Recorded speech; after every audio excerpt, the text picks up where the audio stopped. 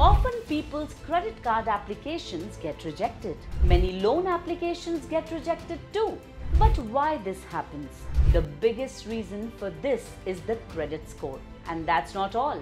It is not surprising that one day you will be asked for your credit score when you want to get married too. That is why a good CIBIL or credit score is important for everyone. A CIBIL score or credit score is a person's credit history.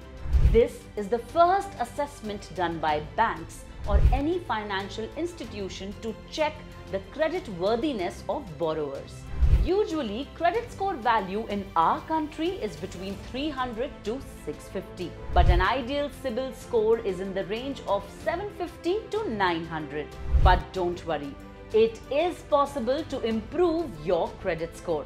Do you want to know how? Welcome to Credit Score course. Freedom App CEO and finance expert Mr. C.S. Sudhir has prepared a comprehensive course on credit score which provides a practical understanding of the credit score. So let me tell you what all will be covered in this course. In this course, you will get an overview of what is a credit score. You will learn every minute detail about the credit score.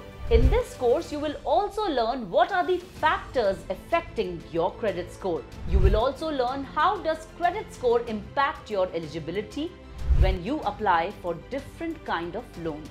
Above all, in this course, you will get practical tips to improve your credit score. By the end of this course, you will have the tools and knowledge to achieve and maintain an excellent credit score and achieve financial stability. So stop thinking and download the ffreedom app from the link in the description of this video.